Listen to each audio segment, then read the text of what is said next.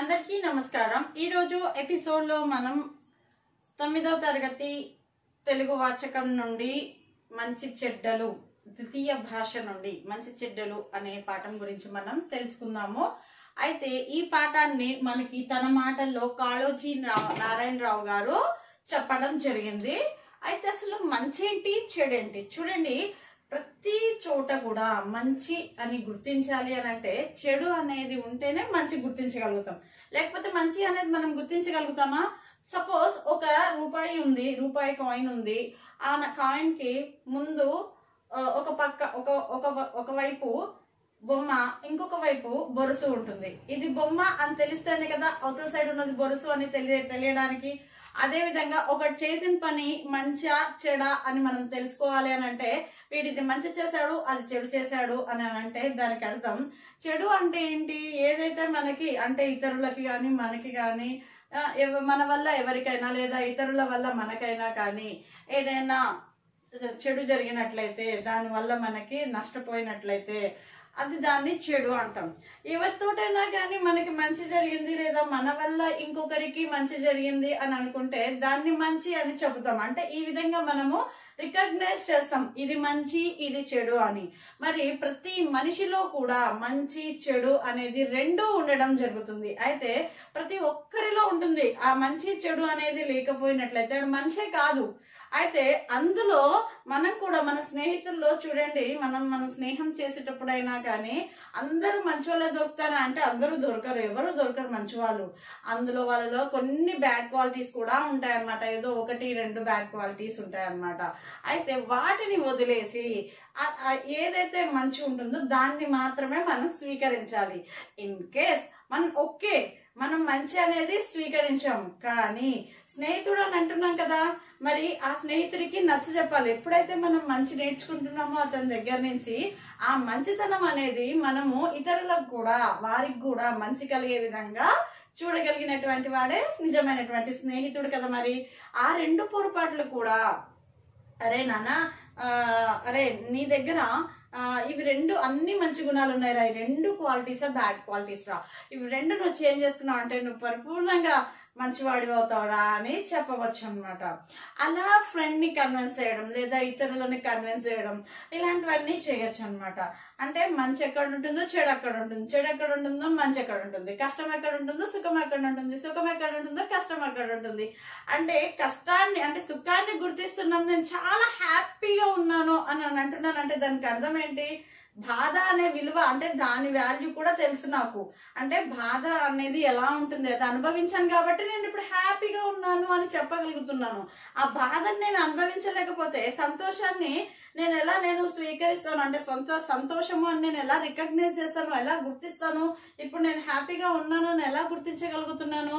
ఆ రోజు నేను బాధను అనుభవించాను కాబట్టి ఈ రోజు నేను సంతోషంగా ఉన్నాను అని చెప్పి గుర్తించగలుగుతున్నాను. అదేవిధంగా మనిషిలో కూడా మంచి చెడు అనేది రెండు ఉంటాయి కాబట్టి ఆ మంచి చెడుల యొక్క విలువలను తారతమ్యాన్ని భేదాన్ని తెలుసుకోగలిగిన నాడే నిజమైన పరిపూర్ణమైనటువంటి వ్యక్తిగా మారగలుగుతాడు. అయితే అదే విషయాలను తాను ఎవరు కాళోజీ నారాయణరావు గారు తన మాటల్లో ఏ విధంగా ఈ పాఠంలో చెప్పాడో చూద్దాము. అయితే మనిషి యొక్క ప్రవర్తన ఎలా ఉండాలి అంట? ప్రవర్తన అంటే ఏంది? బిహేవియర్ అది ఎలా ఉండాలి? అంతా చాలా చక్కగా ఉండాలి మంచిగా ఉండాలి అని చెప్తున్నారు. అయితే అయితే మాటల్లోనూ చేతల్లోనూ మంచి మార్పు కూడా కలిగి ఉండాలి. అదే అంటారు కదా నోరు మంచిదైతే ఊరు మంచిదవుతుంది అని. అంటే ఏంది ఊర్లో ఉన్న వాళ్ళందరూ మంచిగా మాట్లాడతారు మనం మంచిగా మాట్లాడితే. అదే మనం కోపంగా ర్యాష్గా మాట్లాడాము ఆ పొగరుతో మాట్లాడాము. అప్పుడు ఎవరైనా కానీ మనతో మాట్లాడతారా? చక్కగా సవ్యంగా మాట్లాడరు కదా. ఎదుటివాడు మనతో కోపంగా మాట్లాడినా కానీ మనం ఎప్పుడైతే శాంతంగా మాట్లాడతామో ఎదుటివాడిని శాంతపరచాలని ప్రయత్నిస్తామో అది చాలా త్వరగా సక్సెస్ వస్తుంది ఎందుకంటే నా లైఫ్లో అయితే నేనైతే చాలా చాలా మంది అంటే నేను ఒక యాజ్ అ టీచర్గా నేను చాలా మంది పేరెంట్స్ని హ్యాండిల్ చేస్తూ ఉంటాననమాట అయితే అందరూ ఒకేలా ఉంటారని చెప్పలేం కదా. అందరూ మంచిగా మాట్లాడతారని కూడా చెప్పలేం కదా. కోపం ఎదుటి వ్యక్తికి కోపం వచ్చినా కానీ మనం మంచిగా మాట్లాడినట్లయితే నెమ్మదిగా మాట్లాడినట్లయితే నిదానంగా మాట్లాడినట్లయితే ఆ ఎదుటి వ్యక్తి తన కోపాన్ని ఆటోమేటిక్గా తగ్గించుకుంటాడు మన దారిలోకి రావడం జరుగుతుంది. అందుకనే మన ప్రవర్తన అనేది చక్కగా ఉండాలి మంచిగా ఉండాలి. అది లేకుండా మనం ఎన్ని రకాలైనటువంటి వేష భాషలు అంటే ఎన్ని రకాలైనటువంటి వేషాలు వేసిన వేషాలు అంటే ఏంది? డ్రెస్సింగ్ స్టైల్స్ కానీ లేదా ఎలా అయినా మారినా కానీ ఇంకా మన భాషలను మార్చినా కానీ మనలో ఉన్నటువంటి మంచితనం అనేది మనం ప్రకటించకపోతే ప్రదర్శించకపోతే ఆ ఎదుటివాడు మనకి సరిగ్గా ఉండడనమాట అయితే అదే విధంగా ఎన్ని ఎన్ని ఆర్భాటాలకు పోయినా కానీ నాకు అంత ఉంది ఇంత ఉంది నాకేంటి? నాకు రెండు బంగ్లాలు ఉన్నాయి నాలుగు కార్లు ఉన్నాయి. నేను రోజుకో కార్లో వెళ్తాను. నేను ఫాస్ట్ రెస్టారెంట్లో అయితేనే నేను తింటాను లేకపోతే నేను ఇంకెక్కడ తినను. ఆ చీప్ క్వాలిటీ నేను అస్సలు ఐ హేట్. అని ఇలాంటి బిహేవియర్స్ అనేది ఎప్పుడు కూడా ఎదుటి వాడిని హట్ చేస్తూ ఉంటాయి అనమాట కాబట్టి నీ దగ్గర ఎంతైనా ఉండని కానీ నీ ప్రవర్తన మాత్రం చక్కగా ఉండాలి. ఎంత అది చెప్తూ ఉంటారు కదా చెట్టు ఎదిగే కొద్దీ ఒదుగుతూ ఉండాలి. అంటే ఎప్పుడైనా కానీ మనం పైకి ఎదిగే కొద్దీ మనము ఒదుగుతూ ఒదిగి మాట్లాడినట్లయితే అది మనకి గౌరవాన్ని రెట్టింపు చేస్తుంది అనమాట అదేవిధంగా ఇలా మనం ర్యాష్గా మాట్లాడటం వల్ల ఏమవుతుంది? దాన్ని దానివల్ల చెడు ఫలితాలే అనేవి ఎక్కువగా వస్తాయి అని చెప్పి మనకి పాఠం ద్వారా కాళోజీ నారాయణరావు గారు మనకి చెప్పడం జరిగింది. ఇక కాళోజీ నారాయణరావు గారు వరంగల్ జిల్లాలో అర్బన్ అర్బన్ జిల్లా మణికొండకు చెందినవాడు. ఇతను నైన్టీన్ ఫోర్టీన్ అక్టోబర్ నైన్త్న ఈయన జన్మించడం జరిగింది. Two thousand two eleven thirteenth రోజున ఈయన మరణించడం జరిగింది. అయితే ఈయన ఎక్కువగా ఈయన రచనలు ఎలా ఉంటాయంటే వ్యంగ్యంగా ఉంటాయి. అంతేకాకుండా విమర్శనాత్మకంగా ఎదుటివారిని విమర్శించే విధంగా ఉండడం జరుగుతుంది. అయితే ఈయన కాళోజీ పుట్టిన రోజున రోజునే మనం తెలంగాణ భాషా దినోత్సవంగా కూడా మనం చెప్పుకుంటాము. ఈ విధంగా ఇతని కవి పరిచయం అనేది మనకి ఇవ్వడం జరిగింది. ఇక మనం పాఠంలోనికి వచ్చినట్లయితే ఎన్ని దేశాలు తిరిగితేనేమి వేషాలు వేసితేనేమి రా రాగాలు మారితేనేమి? ఇక వేగాలు పెంచితేనేమి? నా మంచి చెడ్డలు నన్నంటి ఉండగా. నా మంచితనం అనేది నన్ను ఎల్లప్పుడూ సదా నాతోనే ఉంటే నేను ఎన్ని రకాల వేషాలు వేసేయండి ఎన్ని రకాల భాషలు మాట్లాడితేనేంటి నా హంగు టంగ్ వింగు అన్ని ఎన్ని మార్చినా కానీ ఆర్భాటాలకి పోయినా కానీ ఏంటి నాకు నష్టమేం లేదు. నా మంచితనం నాతో ఉన్నది కదా. ఎప్పుడు చూడు చిరునవ్వుతో మనం ఎదుటివాడిని పలకరించాము అంటే ఆటోమేటిక్గా కోపంగా ఉన్నవాడు కూడా శాంతంగా మారడానికి అవకాశం అనేది దొరుకుతుందనమాట అయితే ఏరి ఏరి కొత్త పేరు పెట్టిన ఎంత పేరు మారునే గుణము వేరొకటి శక్యమే. నా మంచి చెడ్డలు నన్నెంటి ఉండగా? అంటే నాలో ఉన్నటువంటి ప్రతి ఒక్కటి నువ్వు వెతికి వెతికి వెతికి వెతికి తప్పులు తీయాలని చూస్తున్నావు. కానీ ఆ తప్పులు తీసి చూసినా కానీ నేనేం చేస్తాను? ఒకవేళ నువ్వు నన్ను దూషించినా కానీ పర్వాలేదు అన్నట్టుగా నెమ్మదిగా నేను సమాధానం చెప్పి మందలించినట్లయితే అది నాకేమీ కాదు కదా. నా మంచితనం నాకుండగా నీవు నాలో ఎన్ని తప్పులు వెతికితేనేంటి? నా మంచితనమే నన్ను కాపాడుతుంది. ధర్మం రక్షిత రక్షిత అని అన్నారు. అదేవిధంగా మన మంచి మనకే కాపాడుతుంది అని చెబుతున్నారు అనమాట ఇక మతము మారినేమి మఠము మారినేమి రంగు మారినేమి హంగు మారినేమి నా మంచి చెడ్డలు నా నన్నంటి ఉండగా ఇక మతం మారితేనేంటి? మతం మారితేనేంటి? ఇక మఠం మఠం అంటే ఏంది? మనం ఉండేటటువంటి ప్లేస్. ఆ ప్లేస్ మారితేనేంటి? ఇక మన రంగు రంగు హంగు అన్నీ మారిపోయినా ఏది మారిపోయినా కానీ ఏంటి? నా దగ్గరే ఉంది నా మంచితనము.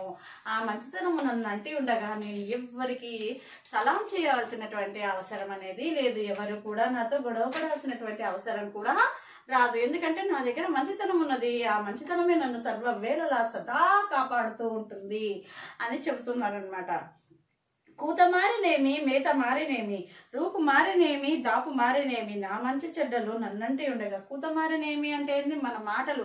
అంటే మనం మాట్లాడేటటువంటి మాటలు మారితేనేమి? మనం తినేటటువంటి మేత అంటే ఏంది? మనం తినేటటువంటి తిండి మారితేనేంటి అంటే ఇంతకుముందు అంటే ఒక ప్రదేశం నుంచి ఇంకో ప్రదేశానికి వెళ్ళిన తర్వాత ఆ ప్రదేశాన్ని అనుకూలించి అక్కడ వాతావరణ పరిస్థితులను అనుకూలించి అక్కడ ఎటువంటి ఆహారపు అలవాట్లు ఉన్నాయో ఆ ఆ ఆహారపు అలవాట్లకి మనం అలవాటు పడాలా? అప్పుడు మాత్రమే అక్కడ మనం ఆరోగ్యంగా ఉండగలుగుతాం అనమాట ఇక అపూత మారితేనేంటి? ఇప్పుడు నేను తెలుగులో మాట్లాడవచ్చు మరి ఇంకొక చోటకి వెళ్ళినప్పుడు అక్కడ ఇంగ్లీష్లో మాట్లాడవచ్చు మరొక ప్రదేశానికి వెళ్ళినప్పుడు అక్కడ హిందీలో మాట్లాడవచ్చు. ఎలాంటి భాషలో మాట్లాడతానేంటి? నా మంచితనం నన్నంటే ఉండగా. నన్ను ఎవరేం చేయగలుగుతారు? దాపు మారితేనేమి రూపు మారితేనేమి? నా మన- నా వేషం మారితే ఏంటి? రూపు అంటే ఏంది? నేను ఇక్కడ ఉన్నప్పుడు చీర కట్టుకొని చక్కగా ఉండొచ్చేమో తర్వాత ఇంకొక ప్రదేశానికి వెళ్ళినప్పుడు చక్కగా ప్యాంట్ షర్ట్ వేసుకొని ఉండొచ్చేమో హెయిర్ కటింగ్ చేయొచ్చేమో అని నా రూపురేఖలు అన్ని మారిపోతేనేంటి? నా మంచితనం నా ఇంట నన్నంటి ఉండగా అని చెబుతున్నాడు అనమాట పీతాంబరము వీడి పేగు చుడితేనేమి కొంప కూడా వదిలి కొండెక్కితేనేమి నా మంచి చెడ్డలు నన్నంటి ఉండగా. పీతాంబరం పట్టు వస్త్రాలు అన్నిటినీ వదిలేసి పేగుచుడిదేనేమి వేరే వేరే రకరకాల దుస్తులను నేను ధరిస్తేనేమి? కొంప గూడు వదిలి కొండెక్కితేనేమి? ఒకవేళ నా ఇల్లు కొంప అనేది ఇల్లు అనమాట నా ఇల్లు నా గూడు అంతా వదిలేసి నేను కొండెక్కితేనేమి? కానీ నా మంచితనం నన్నంటి ఉండగా నన్ను ఏం చేస్తుంది? నన్ను ఎవరు ఏం చేయగలుగుతారు? అని చెప్పి కాళోజీ నారాయణరావు గారు మంచి చెడుల యొక్క తారతమ్యాన్ని ప్రజలకు తెలియజేస్తూ ఏ విధంగా మనం నడుచుకుంటే సమాజంలో ఏ విధంగా మనము బతకగలము అనేది గౌరవంగా బతకగలము అనేది మనకి పాఠం ద్వారా తెలియజేశారు. మంచి ఏంటి చెడు ఏంటి? ఒకరికి ఎప్పుడైనా కానీ హాని చెయ్యాలని చూస్తే అది మనకే అదే విధంగా అంటే ఎవడు తీసిన గోతిలో వాడే పడతాడు అన్నట్టుగా ఎప్పుడు అంటే మనకి గీతలో కూడా భగవద్గీతలో కూడా కృష్ణుడు ఏమన్నాడు? యద్భావం తద్భవతి అన్నాడు. అంటే ఏ భావనతో నీవు ఆలోచిస్తావో ఎలాంటి ఆలోచన నువ్వు చేస్తావో అదే నీకు కూడా జరుగుతుంది. కాబట్టి నువ్వు మంచి జరగాలని ఇతరులకు మంచి జరగాలని నువ్వు ఆలోచించు నీకు కూడా మంచి జరుగుతుంది.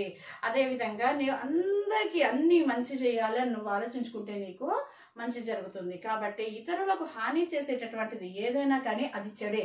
ఇతరులకి నీ ఇతరులకి మేలు జరిగేది ఏదైనా కానీ అది మంచి అని చెప్పి మంచి చెడు యొక్క తారతమ్యాన్ని తెలుసుకుని ఆ విధంగా మంచిగా ప్రవర్తించాలి మనిషి యొక్క ప్రవర్తనలో మార్పు రావాలి అని చెప్పి కాళోజీ నారాయణరావు గారు ఇది మనకి తొమ్మిదవ తరగతి ద్వితీయ భాషలో మంచి చెడ్డలు అనే పాఠం ద్వారా తెలియజేయడం జరిగింది. మరి మీకు ఈ పాఠం నేను చెప్పినది మీకు నచ్చినట్లయితే లైక్ చేయండి షేర్ చేయండి సబ్స్క్రైబ్ చేయండి. మరిన్ని విషయాలతో మీ ముందుకి వస్తుంది. అంతేకాకుండా మరొక విషయం చెప్తున్నాను. ఈ పూర్తిగా ఈ వీడియోని మీరు తప్పకుండా చూడండి. ఎందుకంటే ప్రతి వీడియో కూడా మీరు తప్పకుండా పూర్తిగా చూసినట్లయితే నన్ను అంటే మా ఛానల్ వాళ్ళ మా ఛానల్ని మీరు అభిమానిస్తున్నందుకు చాలా చాలా చాలా ధన్యవాదాలు. మీకు తెలియజేస్తున్నాను. థ్యాంక్ యూ ధన్యవాదాలు. మీరందరూ నా ఛానల్ని పూర్తిగా అంటే నా వీడియోస్ని ప్రతి వీడియోని తప్పకుండా వదలకుండా పూర్తిగా చూస్తారని ఆశిస్తున్నాను. థ్యాంక్ యూ ధన్యవాదాలు.